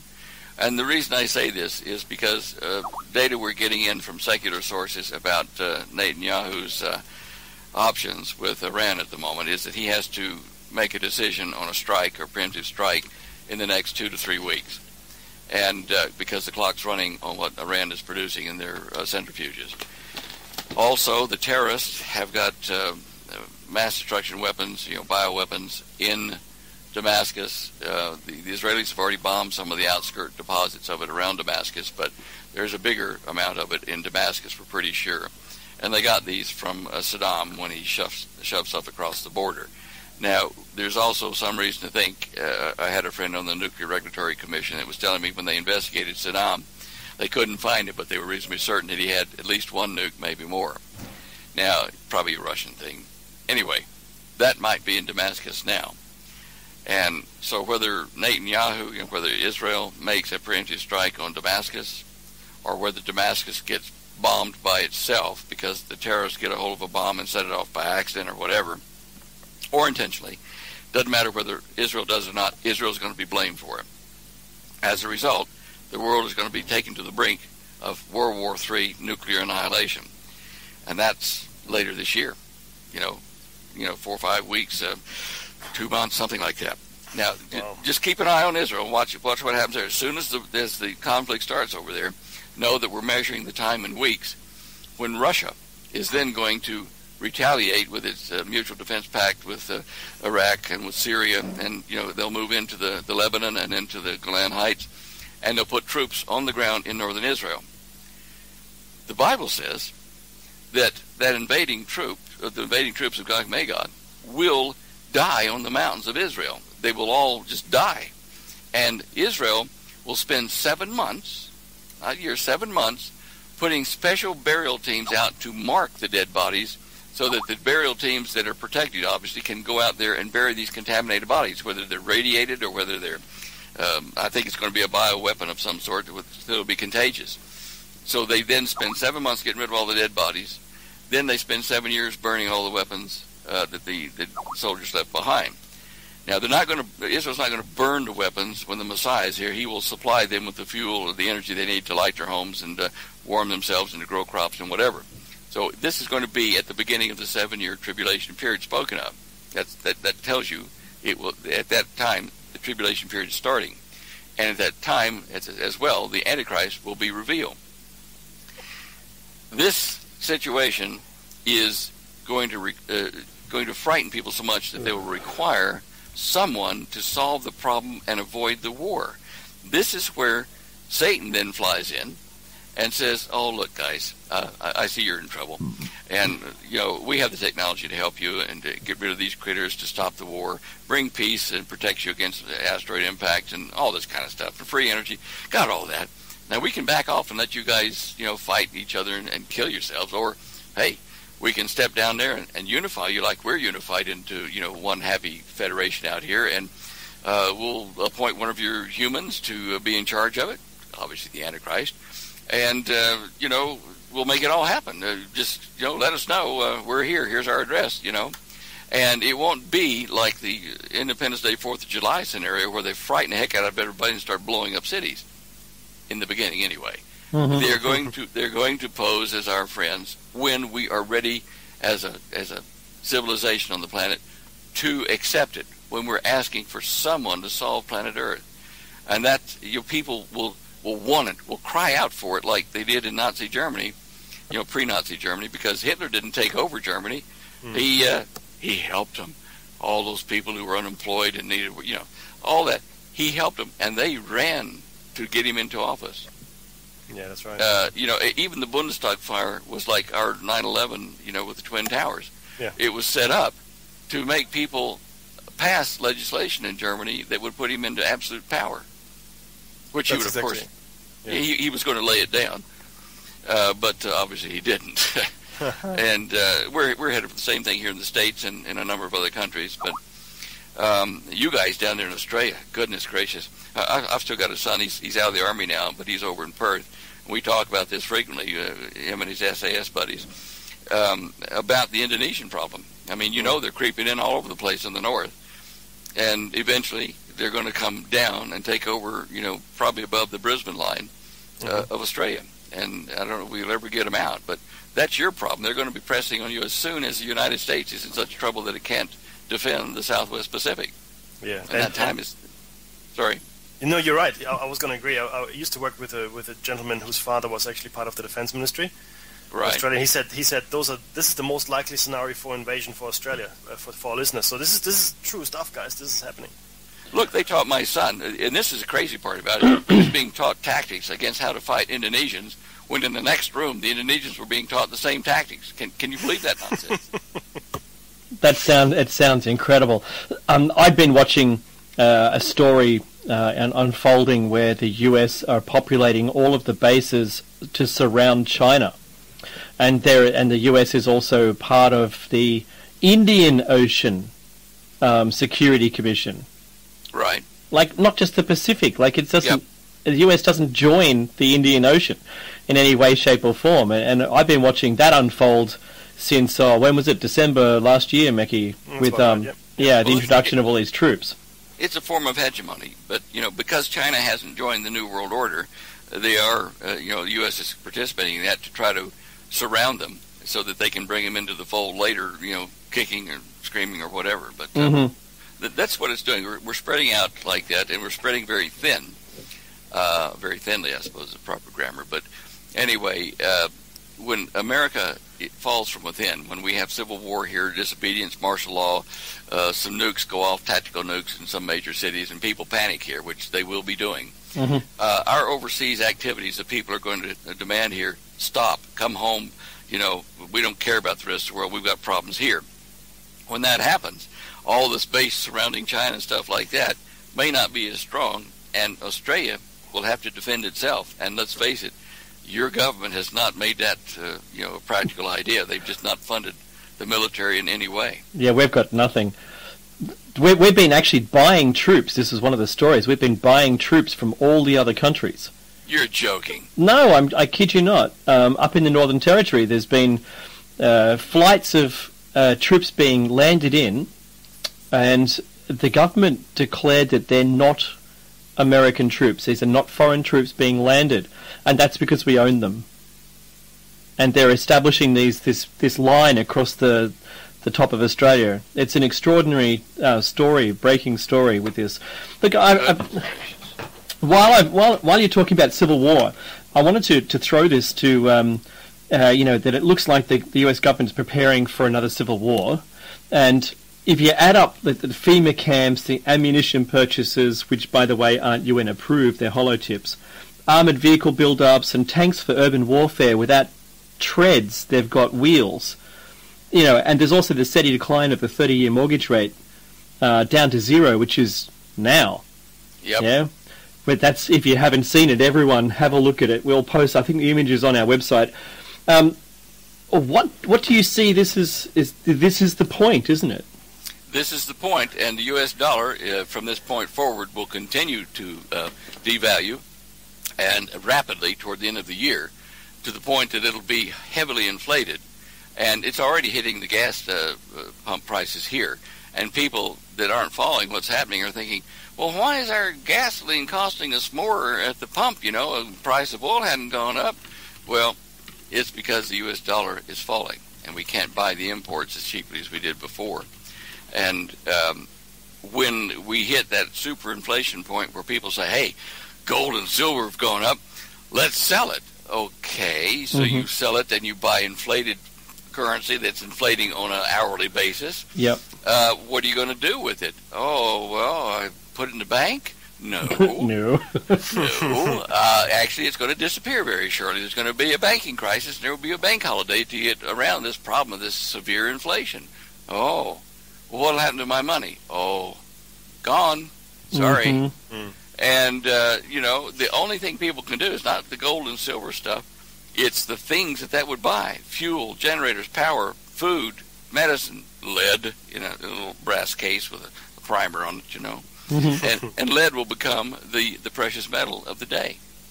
Uh, you know, I mean, people just do not think ahead, you know, far enough in the chess moves, and they're going to get caught. But by the time they need to enact any of that thing, it really will be too late anyway. Yep. Hmm We're So- going to a global currency. That'll have to happen when the New World Order sets up. They've already put it in place.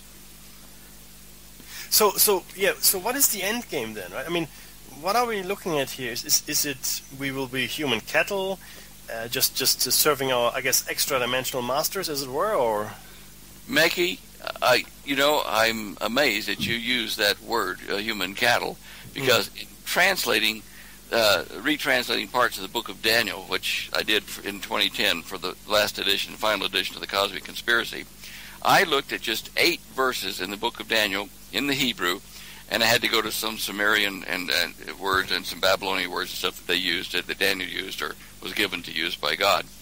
In there, part of it talks about the the little uh, g god Satan, as he, he makes himself a god to the Antichrist of this age.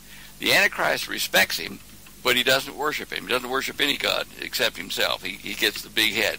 And part of what happens when he makes a deal with Satan is this, and as it, as it says in the book of Daniel, Satan looks at humans as fodder, that's like food, as fragile clay vessels to crush.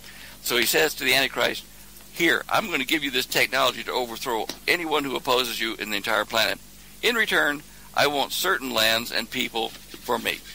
And out of the 10 nations that will make the whole world up, you know, the 10 regions, which is in page 200 of my book, Some of those, I don't know how many, will be given over to Satan and his his guys for their own uses. And when it used the term fodder, when I translated that, that almost looks exactly like V was talking about, where the eight people. And if you recall, in in the Genesis account, the giants did they were um, cannibals. They did eat Mhm. humans. Mhm. So I, I, I'm not saying this is going to happen, but it it certainly suggests that It's horrendous. it is, and that day is upon us very soon. People are going to really be unhappy that are in the uh, quote unquote alien or Satan occupied countries. I don't know what he's going to do with them. I, I haven't finished translating all that stuff there, but I'm encouraging other people to do it. And once we found out how to do it, uh, to uh, get through the book of Daniel and start digging all this stuff out. It took me three months with just eight verses because I, I didn't know how to do certain parts of it. And then I realized how it was coded. But, uh, oh, it's spooky. Spooky. It, spooky. it, it sounds spooky. The the I've been I've been following you know uh, Sitchin and uh, I'm a big fan of Jason Martell's work. Um, and that really it, it led me down this path to the the Sumerians and the Sumerians tale and you know uh, of the Anunnaki and the return and and once you once you get across that, you see how like it is to the Bible. Yeah, and understand this: there are only about eight or nine people in the world, as far as I know today, that can actually reasonably translate the Sumerian uh, script, Mm-hmm. and um, each of them will have a personal bias from their life, you know, about how to interpret certain things. I understand. So, so Sitchin's work will be close, you know, his interpretation of it, but allow for some differences to be just the way he thought, you know. Mm-hmm. So so um, how far have you gone down that road? Well, I'm not studying Sumerian. I haven't got time for that nonsense. It, it's, that's a li- it's a lifetime work, and quite honestly, uh, what's written in the, the the Bible in the ancient Hebrew, once you start digging it out, is sufficient for what we need to know. And then, of course, in the New Testament Greek that agrees with the Old Testament, Mhm. that tells us how to deal with what's coming, you know, what to do. That's enough. I, I, you know, life is too short for me to do all that at once. Oh well, yeah, I, I did- yeah, I know. We we have hard enough doing our job and doing a radio show. I don't know how anyone else does it. The it it, it looks it looks to me though even NASA agreeing, and there's some you know scholars around that are suggesting that they're they're talking about a, the same event, and that's that's a great that's a great step forward. That that that's been admitted, and I and I really I really like that. Um, uh, just one last thing on on the UFOs, for instance. I've heard it. You know, have you heard about the Walmart UFO, the huge building-sized UFO that was seen, and that lady and her family that we're talking about are, are gone now. Um, for Where some reason, and when? uh, I think it was uh, Texas or something like that. It was huge, and it's in the same area as the aerospace companies um, When? themselves. When? Oh, I'd have to. I'd, I'd have to get back to you on that one. Years, months, or what? Oh, years. Well, there was one.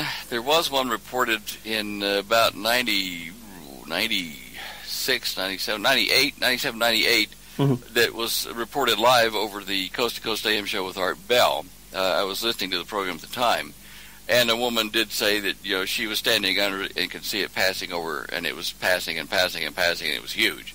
Now that was in Texas somewhere, Mhm. so that, that might be what you're talking about Yep. let me let me tell you part of the, the magic of, of these big ships. Our engineers and our physicists that have come through university have all been taught that the amount of fuel to make a rocket support an object that size in the air for 10 minutes over one spot without moving is just astronomical and couldn't be carried on board such a craft. Mm-hmm. Not not only that, they say that a craft that big, say a mile in diameter, or mile wide, whatever, the craft that big, the the metal or whatever they use to connect the various parts together in the struts would sag under its own weight just in normal gravity, and not to mention making sudden, rapid, you know, high speed moves, it would fall apart. Yep. Now, I argued this point uh, convincingly uh, with uh, a professor of physics at the University of West Australia in his office. I use his blackboard and his chalk. and I said to him, okay, so this is what your, your official position is. I said, so we can't take a heavy craft and, say, park over um, a runway out here at Perth Airport for 10 minutes or more. You just take too much fuel. Yeah, not if you're not moving anywhere and just sitting there, yeah. I said, what about a hot air balloon with a crew on board of that? Oh, that's a different thing. That's, well, that's specific gravity. That doesn't count. and I said, oh, but if we could form an electronic balloon around our craft and store energy in there to make it lightweight, then it could sit there and not use any fuel because it's recirculating in the thing. Uh, well, that no, that uh, well that can't be. And he took his chalk and he threw it at me, and I ducked, and it hit the chalkboard and broke up, and, and that was the end of the discussion. Sounds familiar. Oh, doesn't it? What? But anyway, these guys, these guys cannot allow for that in their paradigm. Mm. They've been trained that way. Mm-hmm. But here's how it happens: if you can take a say a 30 foot diameter saucer, and you can make that work, and of course all the members of that, or that's a small aircraft, that's not very big. And we build those bigger than that all the time that get at supersonic speeds and whatever things like that, and they don't fall apart. So suppose we make one flying saucer with uh, anti-gravity in it and throughout the crew and the craft so that everything uniformly accelerates and doesn't break. Well, now that's not a mile diameter craft. But if we take those 30 foot diameter crafts, a bunch of them, and we put them into a framework where they're all touching, and that and we can control all of those 30 foot diameter craft fields at once together, you know, from the control room, then we make anti-gravity nodes all over the ship so that the, the greatest span you have of any strut trying to support itself in inertial changes is only, you know, 10 or 15 feet. And yeah.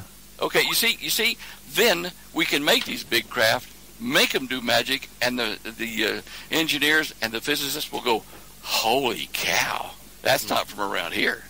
You know, it's out of this world, and that will fool even them. And the people will say, "Hey, if they're fooled, uh, I'm with them. This is something big.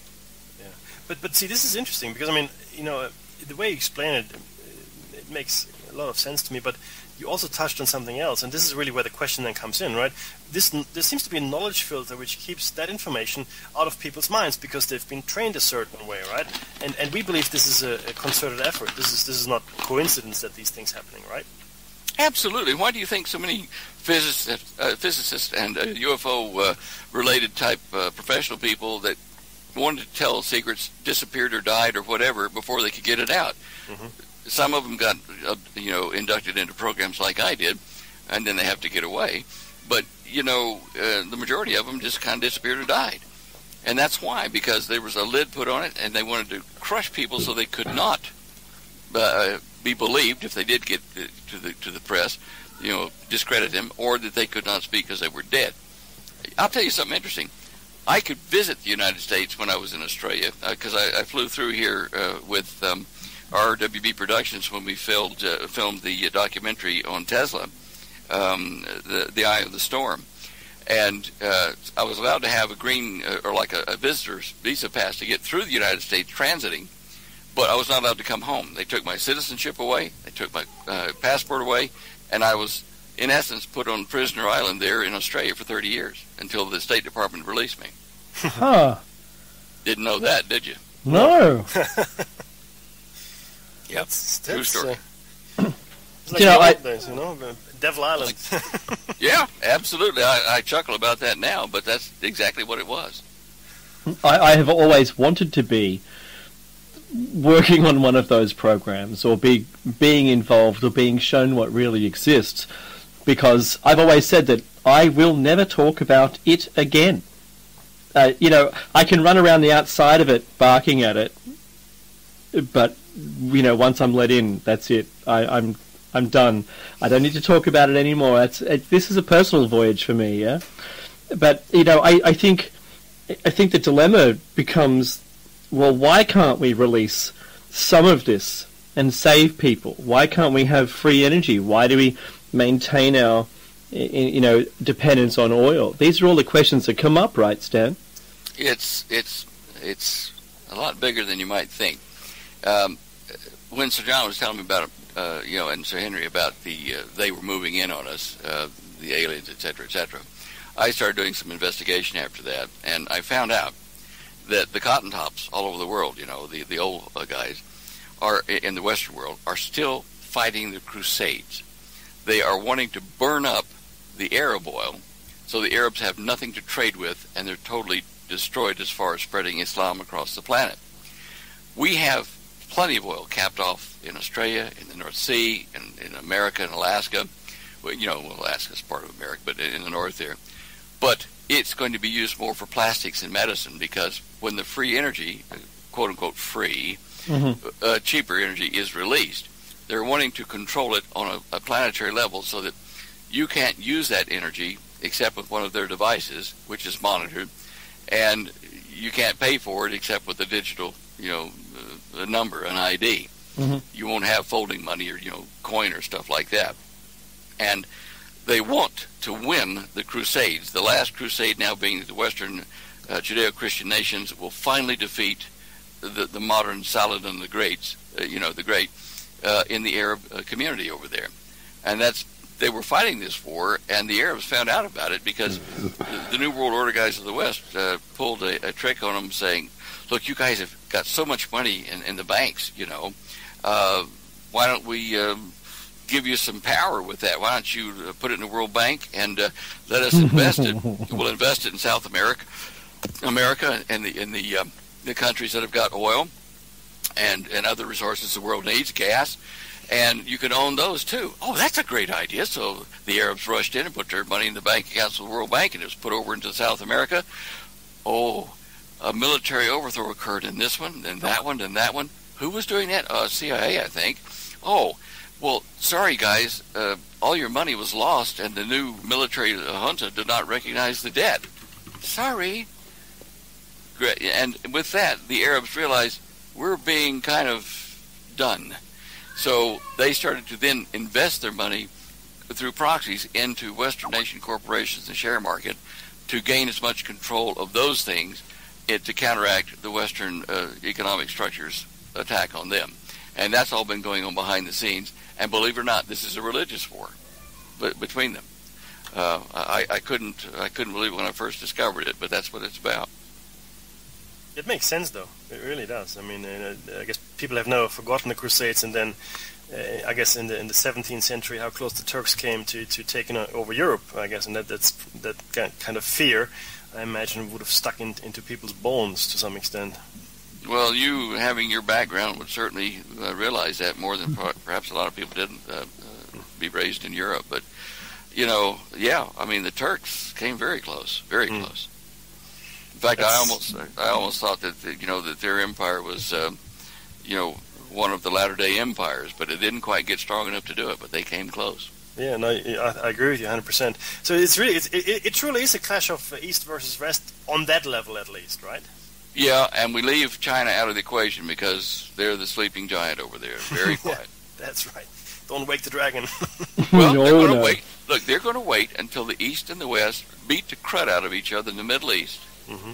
And when we're, you know, the East and the West are down to their lowest level for a lot of reasons, tired, run out of money, uh, soldiers dead, uh, economies in shambles, then China can move in their troops into the Middle East on rail lines that they already have laid with locomotives, steam locomotives that were designed by a, a, British engineer. They're double burner, double boiler steam locomotives. Each wheel in the locomotive weighs 12 tons.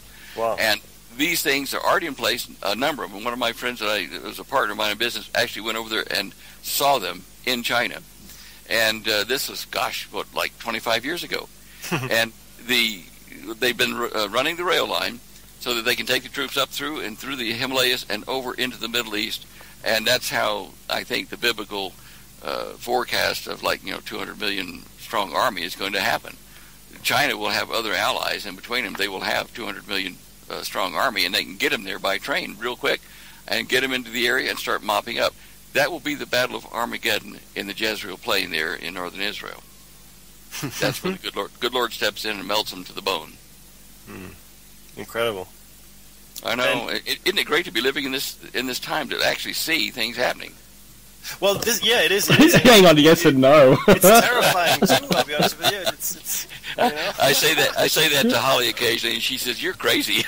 uh, look, I, I, I, believe strongly that um, and this sounds probably crazy. That I've always felt, and Dave is the same way, I guess, that you know there's more to this, and we have a certain purpose. And now with this show, this particular radio show, which reaches you know several uh, I guess several layers of people and, and, tens and maybe even hundreds of thousands of people, there's a certain message we have responsibility of carrying, uh, certain information we feel responsible for to, to make public knowledge. Uh, this is really right. our, our mission, if you will, mm-hmm. you know, right.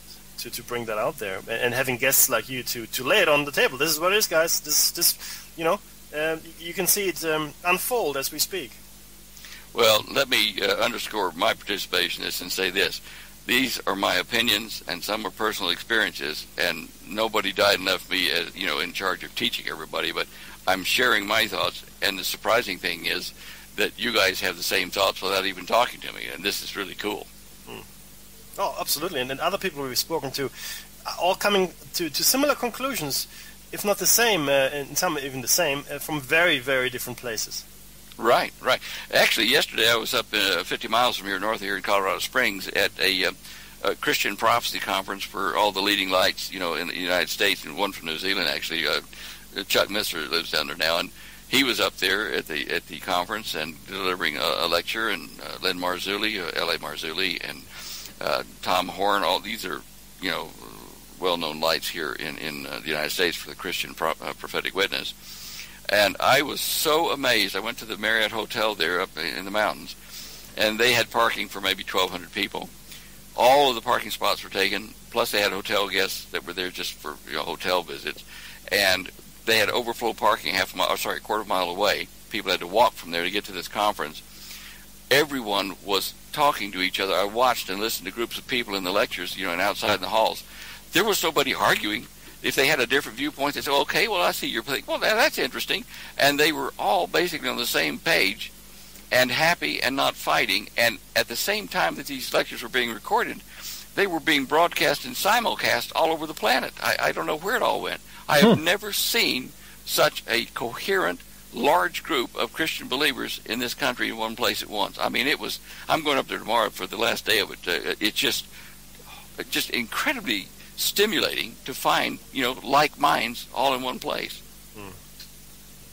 There's no there's no shortage of conversation. I mean, I tell you what, we were just oh, uh, lips were flapping, boy. I tell you, it was good. That sounds it sounds like an amazing experience. Hey, I've I've seen a couple of things, uh, some interviews that you've um, you've had about, and uh, that's you know what really led me towards you, and I've I've um, you know, the anti gravity video was captivating to me, and and that's you know. Uh, without this show, I, I, don't think I'd have an opportunity to talk to you at this level. Um, uh, do you still have the same? Do you have still what what views do you have on you know like uh, solar flares and and Earth changes and the things that we're we're we're also staring down? I have to say also in compared to everything we've already spoken about. Well, look, um, NASA has stepped in this year in this solar cycle, the mm-hmm. sunspot cycle, and they've named it uh, a few years back the Grand Solar Maximum. Yeah. Now, I've been trying to figure out what prompted them to say this because the sunspot number this cycle is not exciting; it's low. Mm. It, it's not large. So, what are they talking about? We've never had a solar sunspot cycle called grand in the 300 years that we've been recording it, or whatever. Uh, actually, there's some records before that, but the, the official sunspot stuff that we accept is about 288 to 300 years. Now, why did they do this? Well, we're having a double peak. We're we're just uh, coming off of this current peak of sunspot count.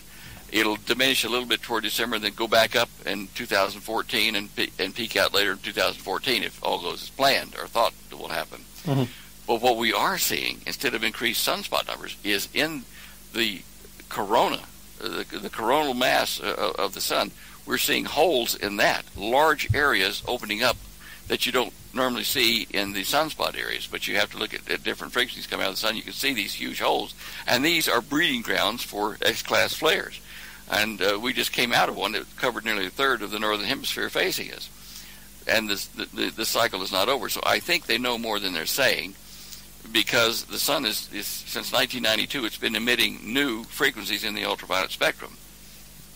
Therefore, this sunspot cycle is a very, uh, very high priority one to fulfill biblical prophecy in the book of Revelation about the sun increasing its light output like seven times. It's not the infrared so much as the ultraviolet, but seven times the light. A cloud going around the sun, and the sun could pass through a, a dust cloud in space. Mhm. You know, the whole the whole system could pass through it, or the sun itself, in phase state changes in its nuclear chemistry, could produce clouds of debris around it that are there for a short period of time till it blows them away, which would then diminish the sunlight to us.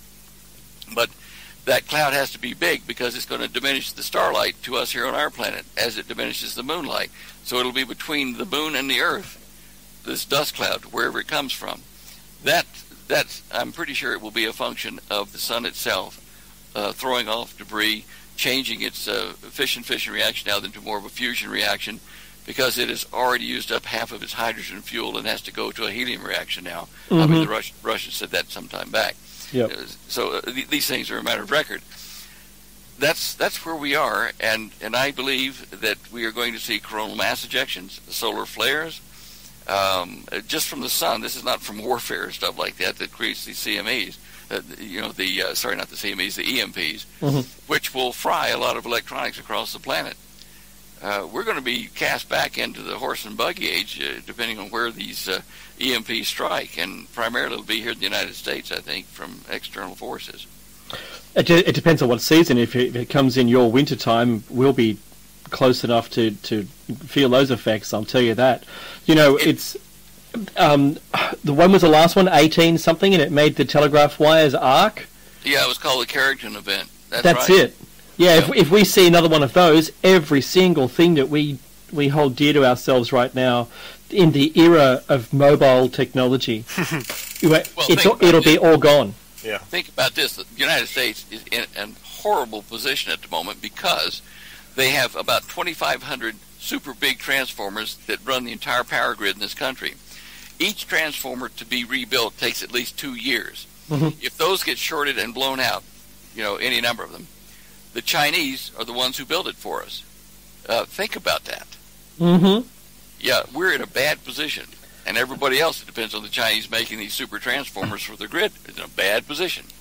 Think about this, Dan. Uh, China just bought our power production. What? Yep.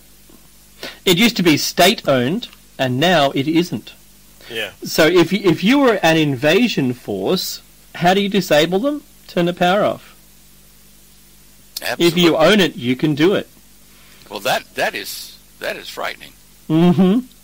Yeah, So and that would be clever because you turn the power off, you don't destroy infrastructure and electronics. They just don't run for a while until you get in and turn it back on, and you're in control.